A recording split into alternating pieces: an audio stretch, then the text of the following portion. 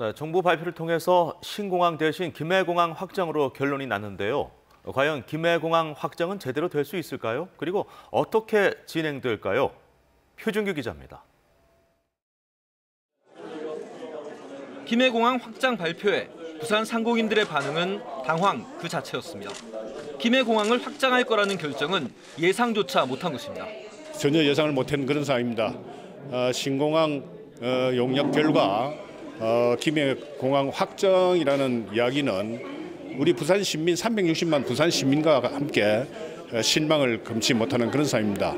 정부 안은 일단 현재 활주로는 그대로 두고 서쪽에 3,200m 길이의 새 활주로 하나를 만들겠다는 것입니다.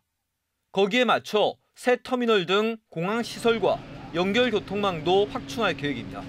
당장 연간 1,200만 명이 넘는 이용객 포화 상태와 매주 1,900여 편이 오가는 활주로 정체부터 해소하겠다는 것입니다.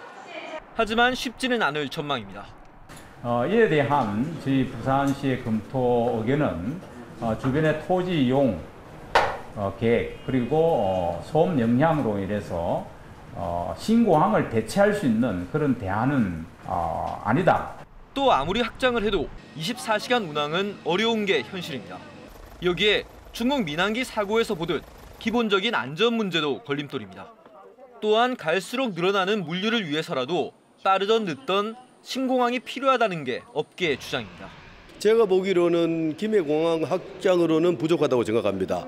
부산은 이미 그 아시아의 관문이 아니고 세계의 관문입니다. 우리 부산은 홍콩과 상해, 싱가포르와 경쟁을 해야 됩니다.